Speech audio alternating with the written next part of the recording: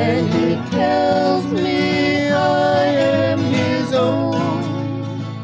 So you're walking down the street one day and you're like, yeah, I'm totes the son of God, man. I'm like Jesus and stuff, right?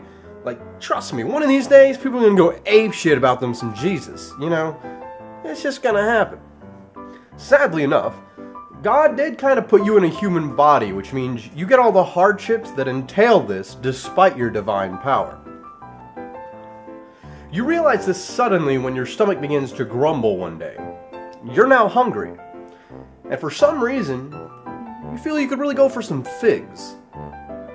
So, considering you're the son of God and stuff, you have a few options when it comes to just how you're exactly going to go about solving this little pickle of yours.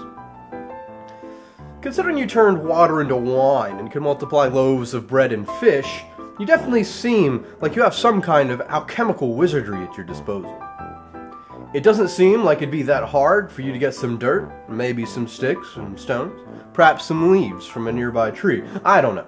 The point is, you could probably turn something that's not a fig into a fig. And if you wanted more than just that one fig, you could probably multiply it into tons of figs, and then you could share it with the hungry folk. But nah, that, that, does seem a little complicated, despite the benefits there. So, uh, and you really feel the need to do some unique things. You know, be yourself for once, not just an avatar of your of your father. You know, he'd probably though he'd probably want you to to like raise an army and invade a neighboring nation and take their children and virgins as slaves. And there's war booty and put them to work on growing some figs. And I mean, he'd even take their stockpiles of figs because you know them sinners are hoarding them some figs. But not only is that, again, too fathery there, that take a little long to accomplish because you're hungry now. But while you're considering your options, you spot in the distance a fig tree.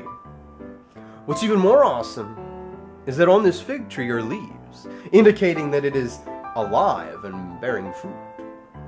Clearly, this is the case, or otherwise, you know, your omniscience might have indicated otherwise. So you set off to the fig tree to get a few figs and chow down.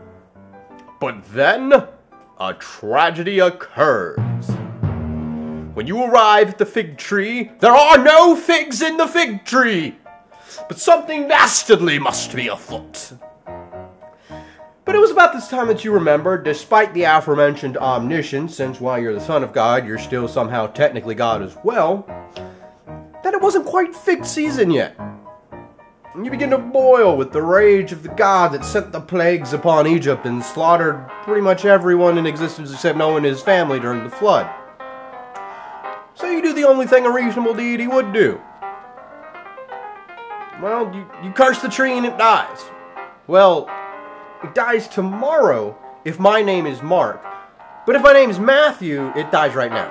So, yeah.